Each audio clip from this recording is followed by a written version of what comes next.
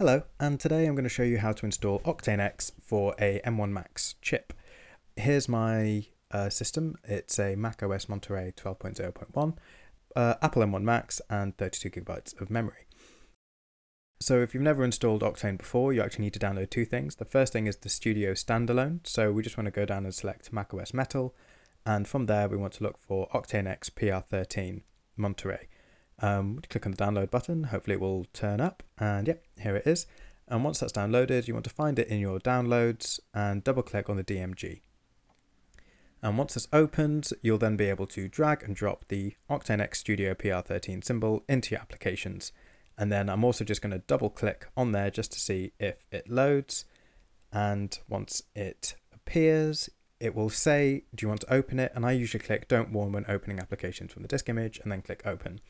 And so now you're ready to enter all of your details.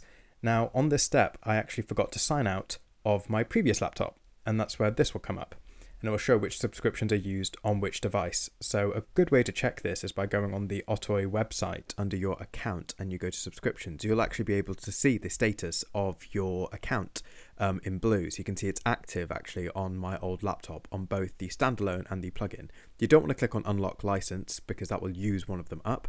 What you need to do is this is on the Cinema 4D plugin, go into settings and account and then you'll be able to sign out from here using that button. And you also want to do the same thing on the Octane standalone. So if you go to File, Activation Status, you'll also see the sign out button there. Once you've done both of these, once you go back onto your subscriptions, you'll actually see that they change from the blue to the green available status. And that means we're ready to continue with the install. And now that that's done, um, when we go back and I enter in my username and password, hopefully we now should be able to just log in normally and it should open as normal. So as soon as I click sign in, it's taking its sweet time. There you go. Uh, Octane-X Studio PR13 standalone is already done. Now we need to get the plugin that's going to plug into Cinema 4D to tell it to operate in the plugin window. So we'll just go in the drop down and find Octane for Cinema 4D. There it is. And we want to click on Mac OS Metal. And then we want to click on Octane-X PR13 Monterey R23 to R25. And you want to click download. Uh, and you want to click accept and you should see it pop up down there. Yes. Once that's downloaded, we then want to open Cinema 4D and you want to go to the Cinema 4D at the top left and you want to go click on preferences. And then once that opens you want to click at the bottom you can see open preferences folder and that's where we're going to be putting the plugin. Um, so you'll see there's a bunch of folders. You want to click on the plugin folder and this is where we're going to be dragging and dropping from our newly downloaded plugin into this folder here. So I'm just going to go and find it in my downloads and dragging and drop it into here and so the next thing we have to do is to go into this folder and we need to remove all the other xlib files that are not R25. So we need to delete 21 and 23, move to bin, and the S24. So the only four things we should have is the xlib file for R25, the dlib, the octane dat, and the res folder. And that should be it. So now we can close out of Cinema 4D, and the next thing we need to do is to make sure it runs on Rosetta 2 because Octane doesn't actually run on the M1 Mac chip natively. So in order to do that, you need to go to your Applications folder and find the Maxon Cinema 4D R25 folder, right click on the Cinema 4D logo and click on Get Info.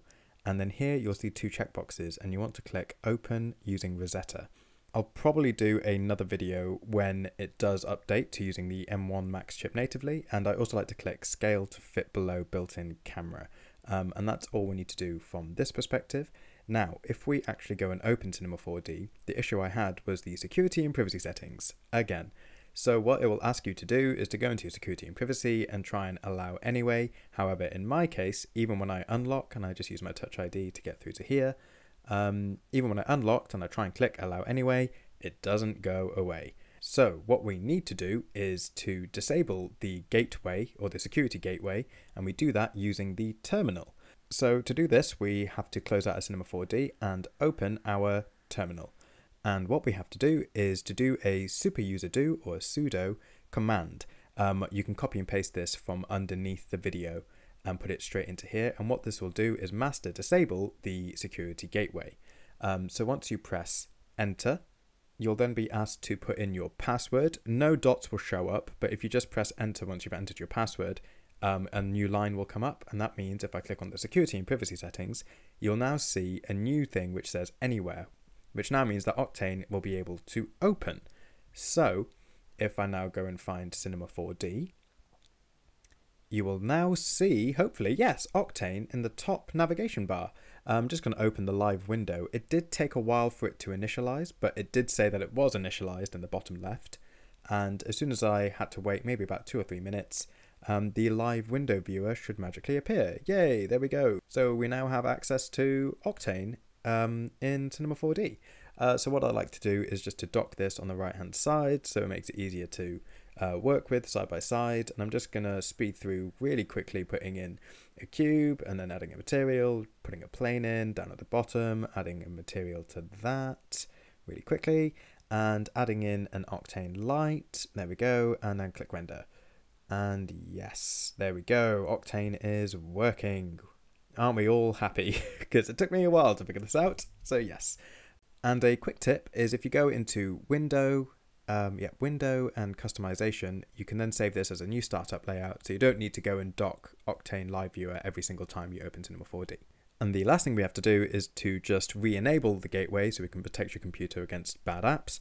And in order to do that, just copy and paste the sudo spctl master enable command line into the terminal, type in your password again, again nothing's going to show up, and press enter, and then there you go, it should be re-enabled. So now I'm just going to open Cinema 4D, and as magic, we should have no security and privacy issues, we have Octane already docked, ready to go, and if I just go and open my security and privacy settings, um, you will also see that the Anywhere um, checkbox has also been removed. So now it's only App Store and identified developers that can be installed. And that's it. So if I just do another speed run of just putting in another cube and putting in my floor and then sticking in some materials, uh, just quickly drop in these two and then add a light and click on the render again. And yes, there we go. Octane is working. And I think that's it. So you should now be able to run Octane on your Cinema 4D. If you have any more comments or questions, or if it doesn't work for you, please just leave a comment down below um, and I'll try and help the best that I can. And uh, yeah, and that's it for me. So thank you so much, and I hope this helps.